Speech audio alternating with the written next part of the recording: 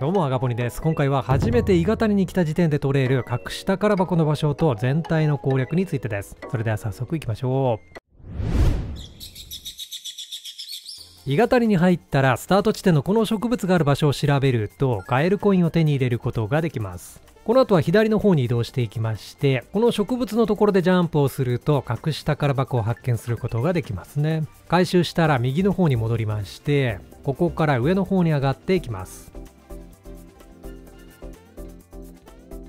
でこの角でジャンプをするとここにも隠した宝箱がありまして中からコンペイトを手に入れることができます。このアイテムは敵全体に固定で200ダメージを与えることができるアイテムなのでぜひ回収しておくといいかと思います。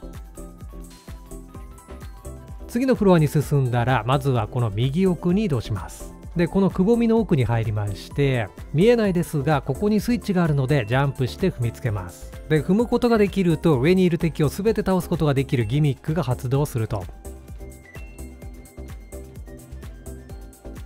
さらにここには未調査のモンスターリストを3回ルコインで記入してくれる NPC がいるので必要に応じて利用するといいかと思いますね。その上でこの奥にはフラワーがあるので取っておくといいかと思います。この後は左の方に戻りましてここから上に上がっていきます。でこの出口から抜ければ初回の鋳型には終了となりますね。はいこの内容少しでも参考になると思っていただけましたら高評価チャンネル登録よろしくお願いいたします。ではまた。